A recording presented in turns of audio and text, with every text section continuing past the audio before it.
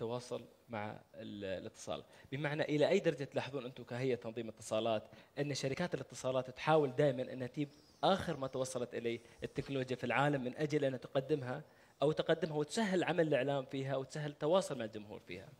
نعم شركات الاتصالات آه، بشكل عام هدفها في تطوير شبكاتها أهداف مختلفة بما فيها طبعا اللي تخدم آه، قنوات ال- ال- الشركات الإعلامية أو الشبكات الإعلامية. آه، لأن البنى التحتيه إذا كانت متوفرة وموجوده آه، وأعطت آه، الإمكانية الفنية لنقل كل هالكم هذه المعلومات سواء عن طريق الهواتف المتحركة أو وسائل النقل الثانية فذلك بالطبع يساعد جميع الجهات المعنية وبما فيها أيضا آه، شبكات أو قنوات ال- ال- الاتصالات المختلفة وقنوات الإعلام. أنا بس حاب اكد على نقطة إن صحيح إن هناك علاقه علاقة يمكن تكون طردية ما بين آه، الإعلام وبين شركات الاتصالات أو شبكات الاتصالات أو حتى وسائل الاتصالات. لكن لا ننسى أن الإعلام آه، ما تطور وما انتقل النقله النوعيه إلا بوجود خدمات الاتصالات الأساسية لها. وشاهدنا أيضا في أحداث الربيع العربي كيف تم آم، نقل الاحداث من من مواقع الحدث نفسها نعم. بوسائل مختلفة كان كانت موبايلات هواتف ذك- ذكية طبعا آه، بتصوير سريع لحدث معين وتم نقله عن طريق شبكات التواصل الاجتماعي. والخبر وصل إلى قنوات ال- ال- الإعلامية اللي كانت غير مصرح لها مثلا بدخول بعض الأماكن فبالتالي صارت هناك نقلة نوعية في كيفية التواصل مع الناس كيفية نقل الإعلام أو نقل الخبر الإعلامي هذا آه، بنتيجة لوجود آه، ال- الإمكانية الفنية اللي هي شبكات الاتصالات البنى التحتية أو آه، وسائل الاتصالات المختلفة. فكل واحدة طبعا تدعم الآخر لأن في النهاية لما تزيد عندك المحتوى الإعلامي بالطبع راح تزيد وتساعد شركات الاتصالات بأن تكون لها آه، مهامش ربحية أفضل ويكون لها خدمات متطورة أكثر، لكن في الأساس وجود هذه الوسائل التقنية وتيسير عملية التواصل أدى إلى أن ال- ال- ال- الآلية اللي يتم فيها التعامل مع المنهج الإعلامي هذه تتطور وترتقي إلى أن كل شخص ممكن يكون إعلامي، كل شخص ممكن يكون ناقل لحدث معين أو ناقل لخبر معين. جميل. النقطة الجاية هي عن التطور وين كنا في الإعلام وصلنا فيه. أريد أضرب مثال في أنا وبنتي. بنتي جتني قبل كم يوم قالت لي بابا أريد آيبادك قلت لها بابا عندك آيباد ليش تريدين آيباد قالت لي آيبادك في إنترنت قلت لها زين قلت لها عندك أنت؟ منزل لك أنا الأفلام ما بنزل لك إنترنت قالت لي لا بابا جديد أنت ما تعرف. هزة عطوط عمره خمس سنوات كي جي 1 كي جي 2 تقريبا. فيا على بالي في ذاك الوقت موقف سؤال. الحين هي في خمس سنوات قاعدة تناقشني بالإنترنت واستخدام الإنترنت. أنا لما كان عمري 19 سنة اكتشفت الإنترنت في الجامعة. بعد يوم أنا عمري 19 طيب هذه بعد خمس بعد عشر سنوات إن شاء الله إذا الله أعطانا العمر وياهم. بعد عشر سنوات. لوين بياخذهم الإنترنت؟ أو لوين هم بيوصلون في الإنترنت؟ سؤال لك شيخ. بعد عشر سنوات من الحين. يعني- قاعد تتكلم عن جيل يناقشك عمره خمس سنوات يناقشك بأي file ينزل وش يختار ويسوي search ويدخل يوتيوب يسكر file يفتح file. بعد عشر سنوات هالجيل شو بيسوي؟ ال- ال- الحين عندنا يعني في العالم العربي في نعم. مدارس آه، ما فيها أوراق كلها صارت آه، يعني أولاد أخ- بنات أختي آه، الواجبات كلها على ال على ال على جهاز الآيباد أو على جهاز ال- ال- الكمبيوتر اللابتوب وي- ويبعثون عن طريق الإيميل و- ويرجع لهم المدرس يعني فصار صار جزء من من من من الحياة ف يعني هو صراحة شيء مخيف إنه بعد كم سنة هل محتاج الطفل يتعلم كيف يكتب؟ بالضبط هذا سؤالي. فأنا- ان أنا ما لاي درجة تطور. هذا راح يأثر فينا. أعود لك آه، سيد آه، سيد سيد سمير بهاي عفوا أخرتك شوي. سيد سمير هل وصلنا حاليا إلى قمة التطور؟ نستطيع نقول أن نقول أن حاليا إحنا وصلنا إلى القمة. حاليا وصلنا للجميع اللي عمره خمس سنوات اللي عمره 50 سنة يستخدم الإنترنت أو الآيباد أو وسائل ب يعني ب- بسهولة مطلقة. هل وصلنا إلى القمة أو ماذا بعد؟ خصوصا أنتم في المجال أتكلم عن جوجل. لا يعني صعب جدا إن حد يقول إن إحنا وصلنا للقمة. أنا يعني تحضرني مثلا مقوله شهيره كان آه، اللي هو المسؤول عن مكتب ال patents اللي هو نعم. في أمريكا في سنة 1800 وحاجة يعني في القرن اللي فات. قال يعني أنا مش شايف فايدة لمكتب البيتنتس ده كل شيء ممكن يخترع خلاص تم اختراعه يعني. نعم. مفيش حاجة هتخترع بعد كده. وكمان يعني برضو أحب أعقب على النقطة بتاعت آه، هل الاتصالات تخدم الإعلام والإعلام هو أنا أنا أنا أصلا مهندس اتصالات فإحنا يعني الأساس في دراسة الاتصالات والكمبيوتر هو إزاي إن أنت تطور وسائل التواصل بين الناس. ولما توصل تطور وسائل التواصل بين الناس بيكل- بي بيطور صناعات جديدة في الإعلام. آه، ما كناش نقدر نتخيلها قبل كده وشفنا الكلام ده على مر السنين. يعني كان الأول الطباعة بتاعه الصحف بعدين ظهر الراديو بعدين لما ظهر التلفزيون الناس اللي كانوا شغالين في صناعة الراديو حسوا إن الراديو خلاص هينتهي ويندثر والتلفزيون هي برضه بعد ال- التلفزيون جه الإنترنت. بعد الإنترنت دلوقتي في شبكات التواصل الاجتماعي. فكل ما الحاجة بتتطور مش شرط بس التطور التكنولوجي بس برضه تطور في طريقة استخدام التكنولوجيا دي مهمة جدا. وبالتالي برضه ك كسياسيين وأجهزة حكومية لازم نستفاد من التطور التكنولوجي ده والتطور في طرق الاستخدام المختلفة. آم، يعني مثلا كلنا متعودين إن في بيبقى مجلس شورى أو برلمان أو آه، آه، اللي هي وسائل التواصل المعتادة عليه معتادة ولازم آه، يعني هي ال- ال council ده هو ده اللي بيمثل الجمهور أو الشعب وبتاخد رأيه. دلوقتي يعني لما تشوف اللي بيحصل في دول زي آه، تونس ومصر و, و, هدي مثال كمان قبل تونس ومصر دولة زي أيسلندا كانوا بيكتبوا الدستور بتاعهم. الشعب كله شارك فيه. يعني كان في لجنة وكانت بتعمل آه، بنود الدستور تحطها على اليوتيوب والناس تقعد تحط التعليقات بتاعتها. وتساهم في التعليقات بتاعتها. حاجة زي كده كانت غير ممكنة من قبل كده. يعني يعني انت برضو لما تدور آم، معنى المشاركة بالرأي العام آه، أمر آه، بسيط. يعني بس بقى اتجاهين دلوقتي ما عادش اتجاه واحد. جميل. آه في في في في تونس وفي في مصر تلاقي الجمهور نفسه ابتدى يعمل مواقع لكتابة الدستور والناس بتخش تبدي آرائها وتكتب. فما عادش دلوقتي تقدر تقول إن البرلمان مثلا هو ال 500 واحد أو 600 واحد اللي تحت القبة. لا ال- ال- النايب أو السياسي اللي هي اللي مش هيعرف يستغل التكنولوجيا ووسائل التواصل الحديثة إن هو يشرك أكبر عدد من الناس معاه في قراراته مش هيقدر يستمر. جميل. سلطان أعود لك بما يتعلق بنفس النقطة هذه وفتح دخل علينا بالنقطه اللي كنا ناوي نناقشها الحين وهو موضوع التأثير على الرأي العام. طبعا أكبر مثال عندنا الربيع العربي. لكن إلى أي مدى تحدث عن النقطة هذه؟ أن يتأثر أن يكون هناك تأثير متواصل من الجهتين من الجمهور إلى الحكومة ومن الحكومة إلى الجمهور. إلى أي مدى استطعنا نحن نعود محليا حين نتكلم عنه هنا محليا. استطعنا. حاليا أغلب الجهات ما شاء الله أغلبهم عندهم تويتر عندهم فيسبوك عندهم مواقع عندهم تقدر تدخل عليها وتشوف المسؤولين إيش يقولون. لكن إلى أي مدى يتفاعل المسؤول مع هذا؟ طبعا عندنا مسؤولين طبعا صاحب السمو الشيخ محمد بن راشد آل مكتوم آه، سمو الشيخ عبد الله بن زايد سمو الشيخ سيد بن زايد. أغلبهم ما شاء الله هم متواجدين ويتجاوبون حتى أكثر عن الجهات الحكومية مع الجمهور. لكن أين نحن من ذاك التواصل اللي نشوفه في العالم الآخر؟ ما بقول العالم العربي. يعني آه، التغيير خيالي تغيير يعني صار في آخر خمس سنين آه، ما في دولة عربية ما سجنت مدون أو اعتقلته أو نعم. بهدلته أو نمع- منعته من العمل أو كذا ما في دولة كلهم يعني سووها وما زالوا يستمرون للأسف آه، بس أعطيك مثال يعني ما أبغى أركز على السعودية لكن يعني أنا كثير متابع حثاني. هناك في في أحد أصدقائي يعني مدون سعودي معروف جدا اسمه فؤاد الفرحان قبل خمس سنين تم يعني تم اعتقاله وانسجن أربع أربع شهور وكذا آه، فبعد أربع خمس شهور المهم ليش؟ أنا كان كاتب مدونة، مدونة حساسة شوية عشر سعوديين لا أريد أن ألتقي بهم. آه، قال والله الأمير الفلاني والوزير الفلاني والشيخ الفلاني وال...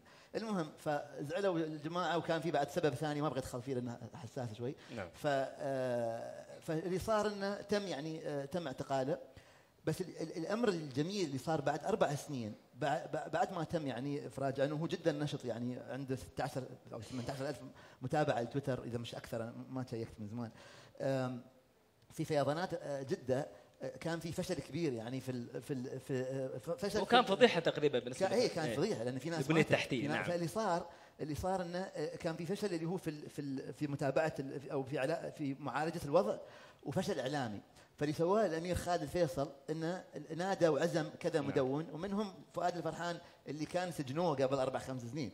نعم. وقال لي يا فؤاد هذه هذه المخطوطات مهنا وشوف هذه؟ بنسوي نحن بنسوي هالأمور يعني وخبر الشباب على تويتر خبرهم. فأنت شوف إنه رحنا من من من آه، يعني آه، مواجهة. من من مواجهته ومعاقبته إلى مواجهتهم تعال لا إلى تعال يا أخي. سوينا إحنا. أنت عندك 16000 متابع أكثر من ما تبيع الجريدة الفلانية.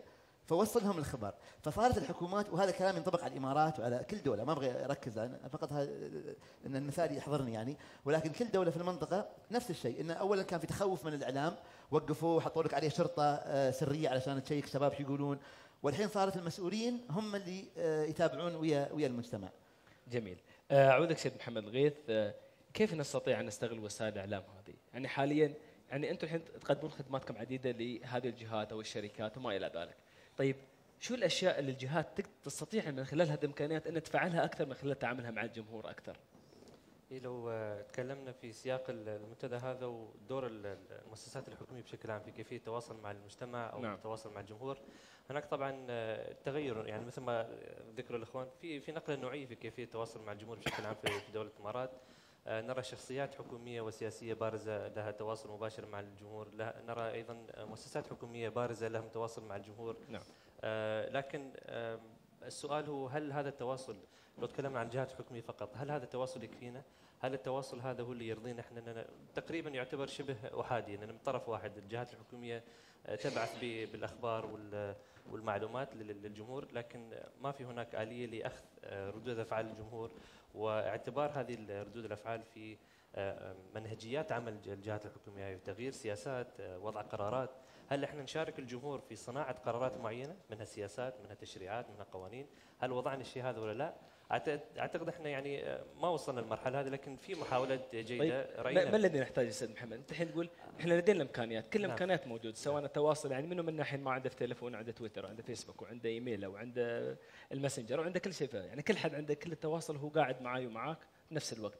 طيب جهاتنا الحكومية شو اللي محتاجه لنا تسويه علشان تتواصل والقطاع العام بشكل عام، القطاع الحكومي بشكل عام وحتى القطاع الخاص شو المطلوب منه وكيف يستطيع أن يفعل دوره أكثر من خلال هذه الوسائل واستغلالها على الوجه الأمثل؟ أعتقد لو نكون منصفين ال- المطلوب من الجهتين سواء كانت الجهات الحكومية المؤسسات الحكومية أو حتى الجمهور يعني العامة يعني ليش؟ لأن لازم إحنا الاثنين نكون على نفس مستوى النضج الفكري يعني على أساس نعرف إن شو المسؤوليات الجهات الحكومية والمؤسسات الحكومية ومسؤوليات المجتمع تجاه المؤسسات الحكومية هذه.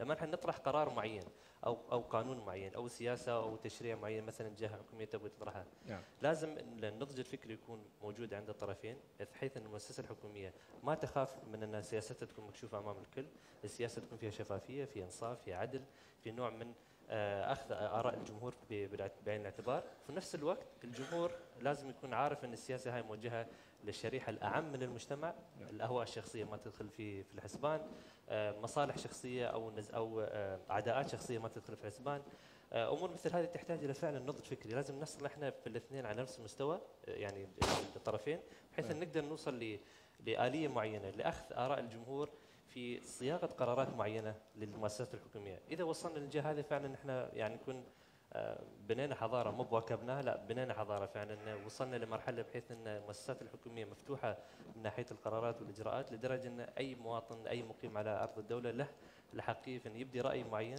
مثل ما هو حاليا له حق بأنه يعطي آم، آم، يعطي يعني يقدم شكوى. نعم. حاليا نرى طبعا في كثير من المؤسسات الحكومية بحسب آه، يعني معرفتنا التص- تواصلنا معهم عندهم وسائل التغذية الراجعة من الجمهور فيما يتعلق بالشكاوي والمقترحات. لكن حنتكلم عن آه، مرحلة أرقى من ذلك نتكلم عن وضع السياسات والتشريعات والقوانين ليست الشكاوي والمقترحات فقط. نبغى نشارك الجمهور في صياغة القرار جميل. ال- اللي اللي تكون مسؤولة عنه المؤسسة الحكومية. جميل. إذا أنت اتفقت مع سيد سمير في نفس النقطة. آه هو هو أنا أحب بس أعقب على النقطة دي. هو مبدأ الاستشارات العامة أو بنسميها ال public consultations نعم. ده مبدأ آه، مهم جدا ويا ريت نعممه في كافة الدوائر الحكومية. ود- ودايما من أكثر الدوائر الحكومية اللي بتستخدمه هو أجهزة تنظيم اتصالات. يعني دايما أجهزة تنظيم اتصالات قبل ما مثلا تفضي ترددات أو تعمل مثلا رخصة- مرجعية مثلها. آه رخصة محمول أو حاجة زي كده لازم بتصدر استشارة عامة بابليك كونسلتيشن وبتدعو الشركات المتخصصة إنها تقدم آرائها فيها. والله الشركات تقول إحنا التكنولوجيا رايحة كده أو والله الترددات دي مش هنقدر نستخدمها ما هياش مربحة. فالمبدأ ده ممكن ناخده في كل نواحي نواحي الحياة. وهتلاقي نعم. بتستخدم مبدأ الاستشارات العامة. آه، جهات كتيرة تبقى مبدأ الاستشارات العامة آه، آه، في التعامل مع مع الجمهور. آه، هو يمكن في بعض الدوائر الحكوميه بتحجم عن كده لأنها بدأت بإنها تحط مثلا آه، مقترحات على فيسبوك أو على تويتر وتجي لها تعليقات كتير ونقد كتير فطبعا آه، أونلاين يعني أو آه، على الإعلام الرقمي سقف التوقعات وسقف النقد بيبقى عالي جدا لازم يكون. في نعم. سعه صدر وتقبل ليه وفي نفس الوقت لازم يكون في آليات برضو علشان تقدر تحول طاقة الجمهور دي إلى آه، آه، قو- قوة آه، مبدعة وبتقترح يعني حلول. بدل ما تكون ساحة لتبادل وجهات النظر تكون بالضبط. ساحه لتفعيل الأمور. بالظبط. تنفيذ. وتقترح حلول بدل ما هي بس مجرد نقد. آه يعني نقد النقد مهم مطلوب وتقبله مهم ومطلوب. بس برضو في أدوات مثلا آه بت- بتخلي الناس تقترح وتفوت على إيه المقترحات المهمة والحلول. جميل. سؤال أخير لسلطان القاسمي ما يتعلق بموضوع الجمهور. مثل السيد محمد والسيد سمير اثنيناتهم أكدوا على موضوع وعي الجمهور وثقافة الجمهور تبادل الجمهور رايه مع مع ال- الحكومة. أنت كمدون صار لك فترة طويلة ولك فولورز كثيرين يعني. في رأيك نحن في العالم العربي إلى أي مدى أصبحنا من الثقافة والوعي أن نستطيع أن نساهم ونشارك في تغيير بما يحصل الآن؟ أين وصلنا من الوعي؟ وإذا كان الوعي أقل من المطلوب ما الذي نحتاجه لنصل إلى ذلك الوعي والتثقيف الذي يؤثر ايجابا على سواء على خدماتنا أو على حياتنا للأسف الوعي يعني ممكن ممكن يكون أفضل من المستوى اللي فيه الحين عندك مثلا عندنا مشاكل مثلا في في بعض المسؤولين تفتح له حساب على تويتر ويغرد على كيفه يعني يسوي لك فضايح ساعات يسوي لك مشاكل ويا ويا ويا دول جوار يعني في نعم. عندك مسؤول يبدي عندك مسؤول هني زين في الإمارات يطلع لك تصريحات عجيبة عن دول. ثانية. هي بدون ذكر طبعا اسامي لكن أنت. فهذا غريب إنه يطلع يعني يتكلم هالأمور لأنه في سياسة دولة خارجية فهو ما له حق. فالوعي أو حتى ال- ال- الصحافة يعني الخارجية يقول تعال هذا فلان فلاني هذا يمثل رأي الحكومة هذا شيء غلط. عندك مثلا آه، بعض الأفراد عندهم اسم مثلا اسمهم الأخير هو اسم الأسرة الحاكمة أو كذا يطلع لك تغريدات غريبة ويمثل يعني ويقولون تعال هذا يقرب حق فلان أكيد يمثل آه، رأيه. ف يعني فهذه صارت في الخليج آه، كثير. فاولا خلينا خلينا نركز علينا هنا إحنا هني في الإمارات. أين نحن من هذا الوعي؟ لأن انت لاحظت من ال followers مالك المتابعين أبى أخذ رأيك أنت كشخص يعني كمدون إلكتروني لك فترة طويلة ولك متابعين. لاي درجة لاحظت أن عندنا الوعي اللي نستطيع أن إحنا نشارك ونغير فيه ونبدي رأينا ونقدر نشارك فيه؟ رأيك. طيب العالم العربي خلاص تقول سويت لك مشاكل خلاص العالم العربي. لا لا بس بس بس سلطان أنا أختلف معاك تماما. أنا مقتنع إن المستخدمين في العالم العربي يعني أنضج مما نتخيل يعني. ويعني شفنا أمثلة في مصر وفي تونس ناس ما كنتش تتخيل إن دي ممكن تتفاعل مع ال social media أو يبقى لها آراء زي دي. والفيديوهات بتاعتهم بتنتشر بالملايين. يعني آه، أكتر ناس متفوقين يمكن في العالم العربي السعوديين السعوديين لما بيعملوا فيديو بتلاقي المشاهدات بالملايين. يعني في مصر 100000 200000 300000 بالكتير إنما يعني شفنا شباب سعودي يعني ما شاء الله يعني قمة في الإبداع وبينتقد وبيشارك وبيحط سياسات وبيقترح حلول وكل حاجة ف يعني أنا م- شد إن هناك وعي هناك وعي آه جديد آه آه في- لدينا. أصل الشباب والأجيال اللي طالعة ب- يعني بتفكر في طرق جديدة ومبتكرة في استخدام الأدوات يعني إحنا ما ما ما ما, ما, ما نشوفهاش وكل يوم بنشوف حاجات جديدة في كل الدول يعني ما ما- يعني ما أقدرش أقول لا لا لا الحتة دي ما فيهاش حد بيعرف يستخدم الميديا جميل صعب سلطان عندك شيء تعقب عليه؟ أكيد. طيب جمهورنا الكريم هذا بالنسبة لكلام الحين الحين ننتقل إن شاء الله أسئلتكم عندنا حوالي ربع ساعة حلوين الحمد لله. فلا الأخ اللي قدامه. بس الميكروفون لو سمحت. إن شاء الله بنحاول ناخذ كثر ما نقدر. إخواني باختصار سؤال أو حتى تعقيب. السلام عليكم آه اسمي يحيى خالد آه عندي سؤال للأخ سلطان رغم أنه الجميع بتداول المعلومات والصور عبر الرسائل أنا الآن معني في الوطن العربي فقط نعم. في هذه المرحلة بتبادلوا المعلومات والصور وبتواصلوا عبر الإنترنت إلى آخره لكن لحد الآن من نبض الشارع بحس إنه لا زالت وسائل الإعلام التقليدية لها مصداقية أكثر رغم إنه العالم على فكرة يتداولها وينشرها. لكن بقول لك قال التلفزيون قالت الجريدة. جريده نعم. آه لكن هذا الكلام أنت رغم إنه أنا طبعا أنا آه ما بدي أحكي رأيي الشخصي أو موقفي الشخصي هون لكن أنا بثير سؤال للأخ سلطان. يعني آه، يعني لا زال هناك ثقة كبيرة في وسائل الإعلام التقليدية على هل هل هل. هذا كامل في العقلية التقليدية إن في المجتمع العربي؟ نعم. أو لا إنه فيها نوع من الحرية وإحنا قد نكون ما تعودنا على الحرية؟ فنرجع للوسائل التقليدية. وإلي سؤال برضو للأخ سلطان واللي بحب يشارك فيه من الإخوان. آه يعني بسعدني أقول له سؤال واحد. آه آه أيوة. سؤالي هو هل وصلنا إلى قناعة في الوطن العربي أن نكون شفافين كمسؤولين في تواجدنا على مواقع التواصل الاجتماعي وفعلا هذه هي صورتنا الحقيقية أم أسلوب من أساليب العلاقات العامة؟ ما فيك تهرب من الإجابة يا أخ شكراً. سلطان في تجاوب على واحد أو على اثنين. تفضل آه، شو كان السؤال الأول؟ السؤال الأول اللي هو اللي هو أن لا ت...